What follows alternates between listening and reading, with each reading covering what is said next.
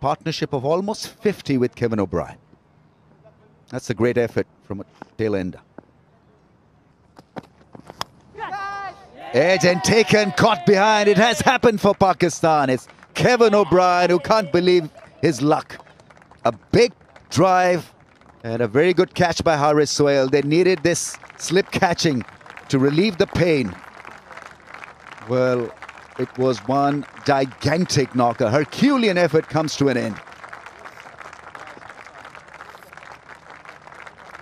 Yeah, he's clearly disappointed because they needed a lot out of him today. Pakistan have got the big wicket. What did we talk about earlier? Slashing at a wide delivery. He is sick with himself.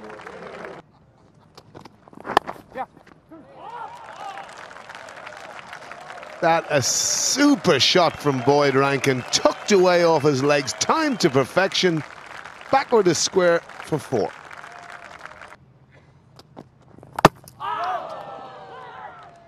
Bowley, inside edge. Good result for Abbas. Yeah, he's, he's, still not happy. I don't know why. He's just picked up a wicket. Maybe still reeling from that boundary that was hit. But uh, Ireland's innings nearing an end. Couple of quick blows here by Pakistan. Latest by Abbas. Trying to leave the ball and hit the leg stump. That was that.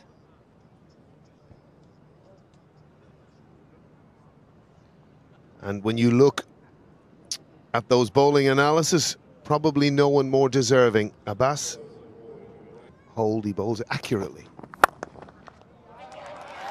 It's a good smack down the ground. And four. And that brings us to the end of the 128th with Ireland 336 for 9. Oh, he's bowled him straight through him. It's a five wicket haul for Mohammad Abbas, and he's taken nine wickets in the match. He's had a splendid match here at Malahide. That's his second five wicket haul in Test cricket, and he gets the uh, accolades and applause from his teammates. Ireland are all out for 339, and Pakistan will need 160 to win this Test match three slips, and a gully and a short leg. Tim Murtagh. Bit of swing straight away.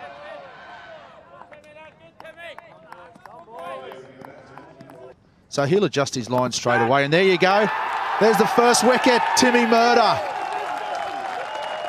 Caught by Paul Stirling at first slip. There's no Gary Wilson, so Stirling goes from second to first slip. Taking it very well. Great set of mitts the big red bearded man has.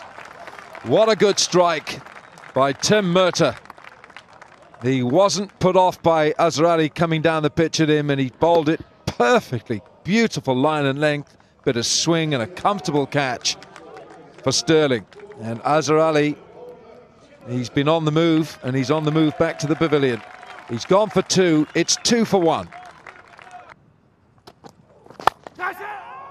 Ooh, it was uppish, it was a wideish delivery and it's Going to go for four. Six for one. It's a nice. lovely shot. Might go all the way, this. It uh, certainly has. He's just timed that nicely, Imam ul Haq.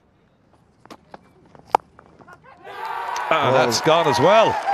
That's two down. Rankin gets the first one. Sohail has gone for seven. And Pakistan have fallen to 13 for two.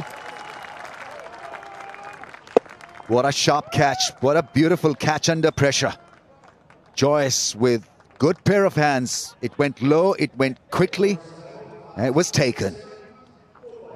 Sohail goes for seven. Pakistan 13 for two, making it interesting.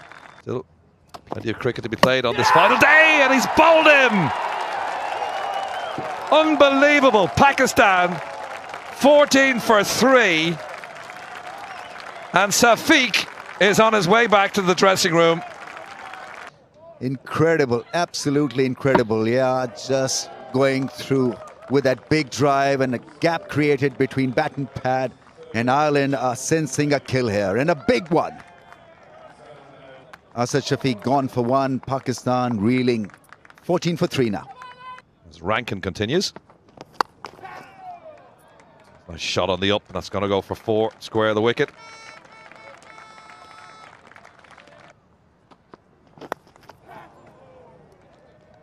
And that's gone for four. Clipped off the legs. Boyd Rankin just straying offline. This will go. Flashed past Andrew McBrine at cover, and that's gone for four. Highlights of that match. It's a nice shot. That is a very nice shot from Imam ul Haq, and it brings up the 50 for Pakistan.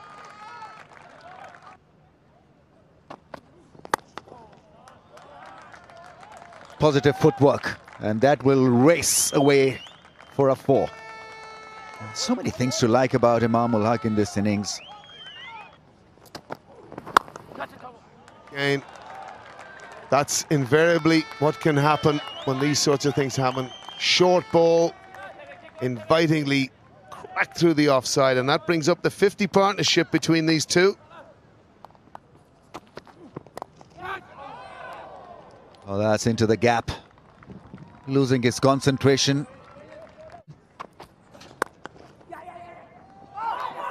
Mix up, mix up. How good is the throw? I think it's okay. They're going to have to go upstairs. It's Andrew Balbirnie who fielded. It. Firstly, he dived. That was the first part of the act. And then he, well, ideally needed to get a quicker throw in. OUT in big red letters. Babar Azam run out. Andrew Balbirnie the fielder. He's done well there. And uh, Babar Azam has run out for 59. He faced 114 balls. And Pakistan 140 for four. Nicely played by Sarfraz, Pakistan's captain. Just guides it down to a vacant third man area.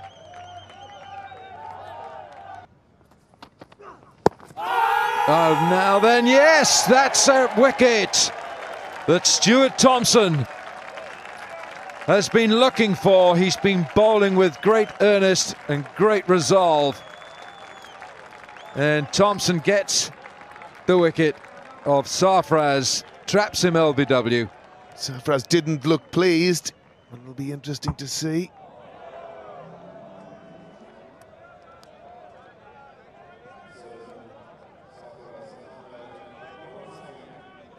So Sarfraz, LBW for eight.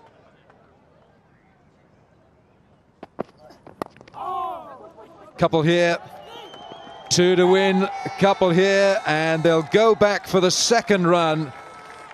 And it is Imam ul Haq who gets the two runs that win this test match, this inaugural test match for Pakistan and he has played a leading hand, 72 not out on his debut test for Pakistan and for William Porterfield and the men in green.